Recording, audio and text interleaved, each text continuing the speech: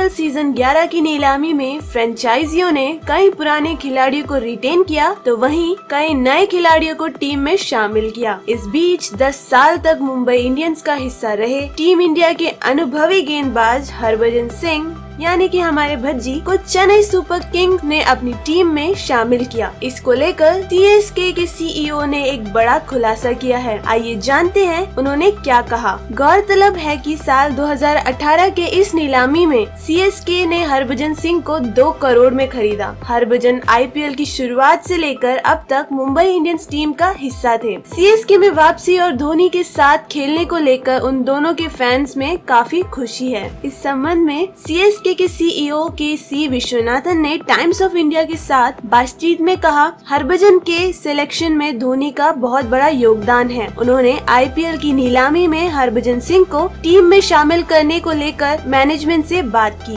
CSK ने हरभजन के बारे में दिलचस्पी दिखाई, लेकिन उतना इंटरेस्ट अश्विन के बारे में मैनेजमेंट ने नहीं दिखाई। वहीं उन्होंने केदार जाधव के सिलेक्शन को लेकर कहा, जाधव सीएसके के लिए इस सीज़न में सबसे महँगे खिलाड़ी हैं। इसके लिए मैनेजमेंट पूरी तरह से सहमत था जादव की बल्लेबाजी और गेंदबाजी दोनों योग्यता को देखकर मैनेजमेंट ने नीलामी में इनका चुनाव किया हमें जो टीम मिला है, इसको लेकर हम काफ़ी खुश हैं। आपको बता दें कि चेन्नई सुपर किंग्स ने एम एस धोनी, सुरेश रैना, रविंद्र जडेजा को रिटेन किया है। इसके साथ ही टीम में Dwayne Bravo Faf du Plessis जैसे स्टार खिलाड़ी शामिल हैं। हरभजन सिंह ने आईपीएल में 136 मैचों में 127 रन लिए हैं। उन्होंने 2017 के आईपीएल मैच में 11 मैच खेलते हुए 8 विकेट झटके थे। सब्सक्राइब कीजिए हमारा चैनल लेटेस्ट और इंटरेस्टिंग न्यूज़ के लिए।